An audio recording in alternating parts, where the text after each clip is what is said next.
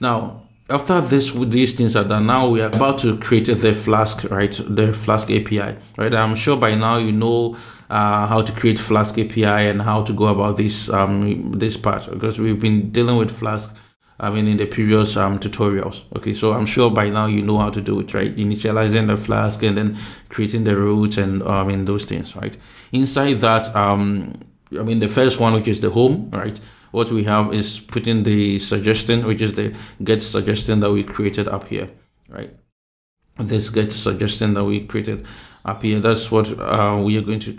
I mean, that's what we are going to put over there. Okay, and then um, the similarity, right? We're also going to create this function called similarity, which is going to take care of um, this part, right? The similarity is going to take care of the similarity part. There's similar movies, right? Basically, it's going to take care of that um, part for us. All right, so you can see that the name of the movie, right? That is in the form you're going to give. That is this form, right? Um, in this form, in this form, you're going to give the name of the movie over there, right? So, so once one and once you give the name of the movie, then it's going to use this RCMD, which is the recommend function that we created above here, right? This one? It's going to use that one to recommend the movie, right? It's going to use that one to search for that particular movie that um, you have given, right? It's going to look for that particular movie that um, you have given and then give you that uh, recommendation. Okay, then finally, in order to display those recommended values, we're going to use um, JavaScript over here, Ajax, right, which is um, asynchronous JavaScript. I'm not, I mean, expecting you to know much of uh, JavaScript or to be I mean, good in software engineering because ideally, when you go to your workplace, you're not the one going to create these softwares, right? There are software engineers who take care of um, developing these um, softwares, right? So if you need to do any JavaScript or HTML or CSS stuff over there, you're not the one going to do it. Your job is to know how to get the data, prepare the data, build it a model, which is, I mean, which is good, uh, optimize your model. Right? That's what you need to know, and then know where you're going to deploy the model and what your model is supposed to do. That's what you ideally need to know right in the workplace you're not the one going to develop the software to i mean um, the front end and the back end you're not the one going to do that right there will be software engineers who will be doing all those kind of work your job is to know how to work with the data, how to, I mean, come up with the model that they can integrate. Okay. So um, over here, we are using this as, I mean, JavaScript, right, to get whatever um, information that we need. So we're going to get the title, the cast ID, the cast, the cast name, their birthday, the bios, the places, the profiles, and all those kind of things. We are getting this one from the IMDb, right? Uh, the IMDb um, database, right? That's what the JavaScript, I mean, this Ajax is going to fetch for us. All right. So once um, this part is done, then we come to this part. So for every for every um, string that needs to be converted to a list, we're going to use the convert list function to do that, right? So if, for instance, the the movies, the posters, the names, or the profiles needs to, or the birthdays, the bios, the places needs to be converted um, to a list, then this part is going to take care of that. Right? Otherwise, it's just I'm going to be there. But if it needs to be done, then this part is going to take care of that. Otherwise, you're going to get an error over there. Okay. And this one is also doing something similar to the one that I showed you earlier on, like this one, right? This converter list um, thing. Right, it's, it's, it's doing something um, similar to that, right? But this one is going to um, use the cast IDs right? It's going to work on the cast ids okay? It's going to work on the cast ids so um it's going to take care of every if you see any um this open bracket it's going to remove that and then put nothing there. If you see closing bracket sign over there it's going to remove that and then put nothing over there right? So that uh, here we are when we are doing the um when, when, when you click on say um when you click on this one right this is the cast right? They will be having their ids right? But the id will be in code uh, i mean in, bracket right? Open bracket and close bracket. We just want to get rid of that right? And we're going to split each cast right based on the comma in between them. So it could be maybe uh, any name right? I, i'm not sure the names of let me just so i'm just giving you an example over here. So maybe uh, one name could be something like this let me actually do this right one name let me see um maybe this guy's name let me copy it and put it there right someone's name will be like this and then comma will be there another person's name will come let me close this one. Let me go to this guy. Let me copy the name and then put it over there. Another name will come, right? Let me close that. Okay, then um, let me see. Maybe I can just copy this name over here and then uh, I can put it over there. Okay. Now, um, you see that they are separated with comma, right? So I will get rid of the comma, right? I'll get rid of the comma and then I'll get rid of this open brackets and then close bracket as well. Okay. So that's, that's, um, something that I wanted to show you, right? So we get rid of all that, right? We get rid of all that. Okay. Now, uh, once that is done, um, let me close this one.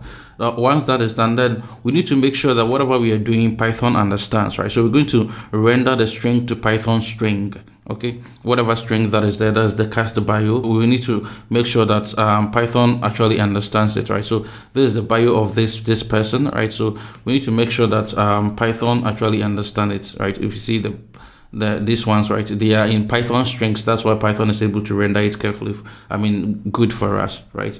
So that, that's that's this what this part is um taking care of right? Okay. Now um this part i'm going to do some web scraping as well right? I'm going to do some uh, web scraping over here as well. Now if you have gone through the web scraping um, tutorial i'm sure by now you understand what I mean how to do this web scraping you are familiar with these um, beautiful soup and I mean, um, this concept find all and all this request URL, you understand all those stuff, right? We are just um, scraping the reviews because we will not have the reviews. We need to do them um, live, right? So these reviews that you see over here, we scrap them live, right? In order to be able to make the predictions on them and see whether they are good reviews or bad reviews okay so that's that's what we are doing over here we are getting that from the imdb database okay we are getting that from the imdb database. And then we are going to store every review in a variable called soup underscore result okay when we get everything we store it in soup underscore result so that's what this part of the code is actually um going to do okay. Okay now once once um that is done once we've gotten the reviews i'm going to create this uh, empty list is reviews list right? It's going to contain the reviews and then the status of the review right? So if you come here we have the reviews and then the status right? Whether it's good or it's bad right? We have the reviews and then the status. So that's that's what i'm going to do. That's what these lists are going to contain. So for every review in this um soup underscore result that we got right? For every review in that i'm going to uh, I'm going to get them one by one and then add them to this reviews list. I'm going to append them in, I'm going to append all the reviews in the reviews list. Okay, once that is done, I just uh, convert everything to a NumPy array and then use this vectorizer. Remember that we, we, I mean, we downloaded this transform.pkl, which is nothing but um, this. If you come here, right, it was, it was containing this vectorizer, right? This vectorizer that we did, which was the last data preparation that we did, uh, that's going to help us remove all those stopwords and um, things like that. Yes, reconnect. And then we did um, pickle.dump vectorizer, and then we we we we got this transform.pkl. Okay, so that's what we are using over here, right, to work on this um, data I mean, this review that we get because this is just going to be test. We need to um, remove all those um, stopwords and then be able to transform it using this vectorizer in order to um, do the prediction, right? Whether they're good or bad. So once I, I use the vectorizer to transform it, then I can now make the prediction on that. Okay, when I vectorize it, I'm storing it in a variable called movie underscore vector. Then I'm going to make predictions on that movie underscore vector okay? And then um, I'll check the status whether it is good or bad. So if it is good or it is bad I'm going to append it or going to add it into the reviews status. Okay? So that's why I'm going to get the I mean the status like this. Okay? But when I do that um, I want to put them in a dictionary in a dictionary form. So it's going to contain the reviews list and then the status, right? Reviews list and then the status. So that's why it is organized, I mean, nicely here, like the, the review and then the status review, the status review and the status. So I don't want to maybe pick a bad review, right? A bad review and then the status will be good, right? I want wanted to match it with the respective um, status, right? I want it to be organized correctly for us. So that's why you see it like that. That's why I'm creating the dictionary over here. And then finally, we have our, I mean, normal um, Flask um, rendering over here. So return render underscore template. and then recommend.html, right? This recommend.html, you'll find it in the template um, folder, right? We have home.html, then we have recommend.html.